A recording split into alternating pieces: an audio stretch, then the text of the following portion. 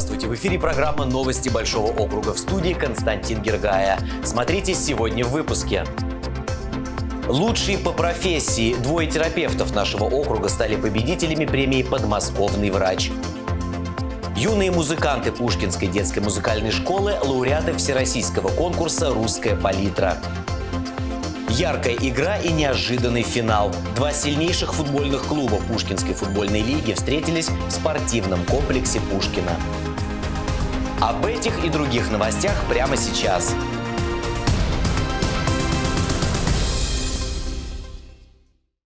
Наши врачи лучшие. Названы победители премии «Подмосковный врач». В конкурсе участвовали пятеро докторов нашего округа. Двое из них – участковые врачи-терапевты, работают в поликлинике номер один города Пушкина. С ними пообщалась наша съемочная группа. Чувствовать боль пациента как свою, представить себя на его месте. Такой профессиональный девиз врача-терапевта Раисы Расуловой. Не зря ее вторая специальность – паллиативная помощь. В конце декабря Раиса Джабраиловна победила в конкурсе «Подмосковный врач». Испытание проходило в три этапа. Ну, первый этап тестирования прошли, потом назначено было второй этап, там проходили уже станции, ситуационные станции. То есть показывали на муляжах, проводили мероприятия по неотложной помощи. Вот, а третий этап уже было собеседование, были задачи. Подготовка была не отходя от рабочего места. Ведь терапевт каждый день сталкивается с ситуациями, которые обыгрывались в задании. Раиса Расуловна не единственный терапевт первой Пушкинской поликлиники, кто победила в премии. Ее молодая коллега Надежда Андреева тоже в числе лучших. Она подошла по критериям отбора и поэтому стала участвовать в конкурсе. Ну, еще в детстве, где-то в 6 лет, я решила, что хочу быть доктором. После этого, собственно говоря, все и шло к осуществлению моей мечты. Других вариантов не было вообще. В 17 лет я поступила во второй медицинский институт в Москве. Ну, собственно, после этого получила место в интернатуре. В поликлинике она уже работает 11 лет. С одной стороны, это приличный стаж, а с другой еще свежие воспоминания об учебе в ВУЗе. Также тесты, практические задания. После каждого этапа участники отсеивались. Наши героини прошли все, и только отдел кадров объявил о победе. Эта премия в Московской области присуждается впервые. Я, как заведующий подразделением, очень рада, что у нас такие замечательные доктора, которые получили заслуженную награду не только среди своих коллег и пациентов, но и на областном уровне. Среди пяти врачей, которые победили от нашего округа, два врача работают в нашей поликлинике. По итогам конкурсных испытаний победителями стали 150 человек. 100 врачей, 30 фельдшеров и 20 медсестер и медбратьев, работающих в Подмосковье. Среди них 8 медработников Московской областной больницы имени профессора Розанова. По количеству победителей заслуженное второе место. Анастасия Спирина, Антон Орловский, Яков Глейзер. Новости Большого округа.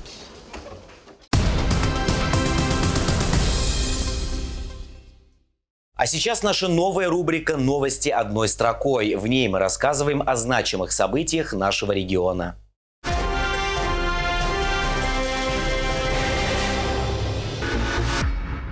С этого года для жителей региона доступно универсальное детское пособие. Денежные выплаты предоставляются будущим мамам и семьям с детьми с рождения до 17 лет, ежемесячный доход которых ниже 17 300 рублей на одного члена семьи. Обратиться за предоставлением пособия можно в МФЦ через личный кабинет сайта госуслуги, а также оформить с помощью чат-бота Ирины.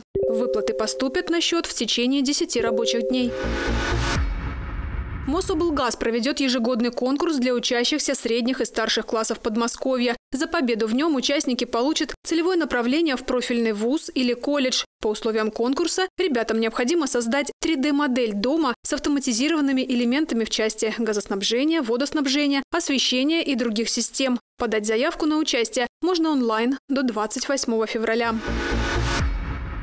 Осторожно, тонкий лед. Сейчас, когда морозы неустойчивы, особенно важно соблюдать бдительность вблизи открытых водоемов. МЧС России напоминает о правилах поведения зимой вблизи рек и озер Подмосковья. Нельзя выходить на лед, оставлять детей без сопровождения взрослых, проверять прочность льда ударом палки или ногой. Напомним, что в начале февраля в Павловском посаде произошла трагедия. Там в Клязьме утонула семилетняя девочка. Лед считается неустойчивым, если температура воздуха выше 0 градусов держится более трех дней.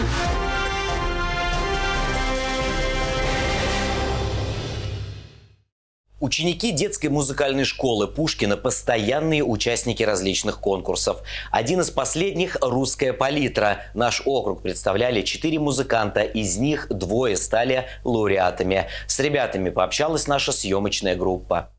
«Русская палитра» – это всероссийский конкурс исполнителей на народных инструментах. Его финал прошел в Московской детской школе искусств имени Балакирева. Уже несколько лет подряд наш округ представляют воспитанники Пушкинской детской музыкальной школы. 1300 юных исполнителей на народных музыкальных инструментах приняли участие в конкурсе. Наши ребята стали лауреатами.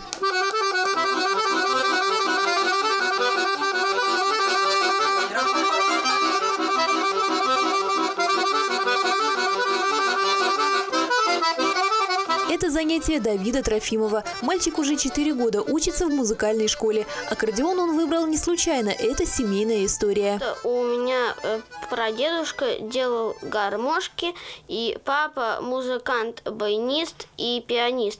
И поэтому я выбрал аккордеон, потому что на нем в семье никто еще не играл. В свободное время Давид любит заниматься фотографией и плаванием. Это уже не первая победа на счету мальчика. Во всем его поддерживают родители. Дома у них целые концерты. В конкурсе «Русская палитра» он стал лауреатом первой степени. Есть мечта, чтобы стать известным, чтобы много зарабатывать. Еще один лауреат Владимир Лозовой. Он занимается игрой на баяне. Как бы, когда я начинаю играть, у меня начинается раскрываться душа и все такое. Как бы. Вот. Расскажи, сколько лет ты уже занимаешься этим? Я с баяном родился. Папа мальчика хотел научиться играть на баяне. Так мечта перешла к сыну. У Владимира не было сомнений. Попробовав играть на этом инструменте, он уже не захотел ничего другого. В планах у него стать известным баянистом.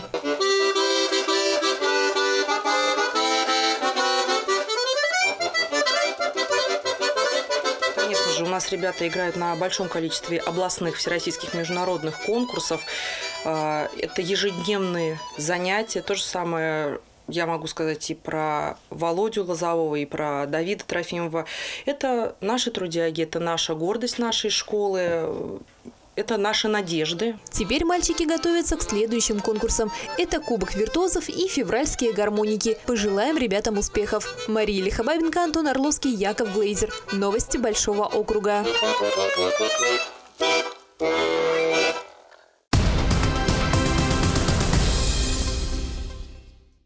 На этих выходных все внимание болельщиков было приковано к игре футбольных клубов «Инвестстрой» и «Динамо Ойл». Две сильнейшие команды в первенстве, которые проводит Пушкинская футбольная лига. Результат встречи всех удивил.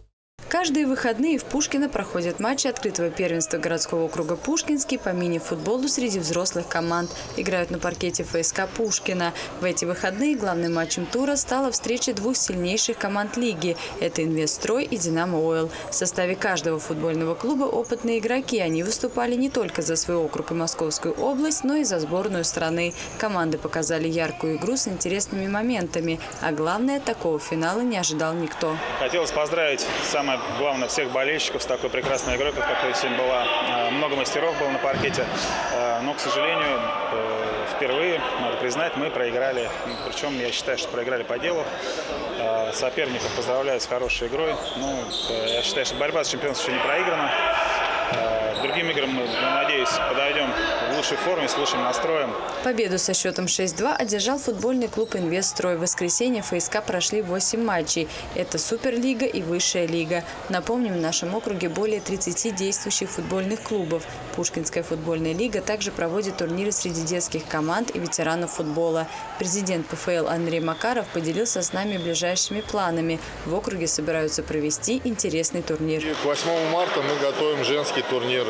Девушки изъявили желание у нас тоже поиграть в футбол. И со всех уголков тоже отписались. Вышел репортаж, кстати, на пушкинском телевидении, как девушки днем работают, а вечером играют в футбол. И сразу посыпались предложения.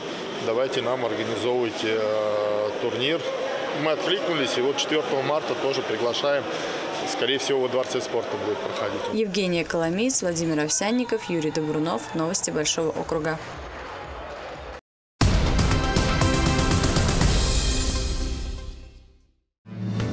И в завершении выпуска о погоде на завтра. В четверг, 9 февраля, температура воздуха днем составит минус 1, а ночью 0. К вечеру ожидается небольшой мокрый снег.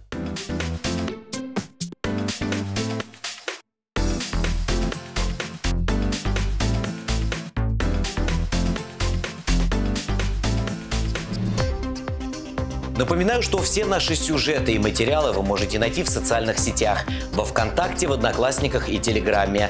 Также подписывайтесь на наш канал на Дзене. Кроме того, программа «Новости Большого округа» выходит и на Рутубе. И на этом у меня все новости на сегодня. С вами был Константин Гергая. Всего вам доброго и хороших новостей.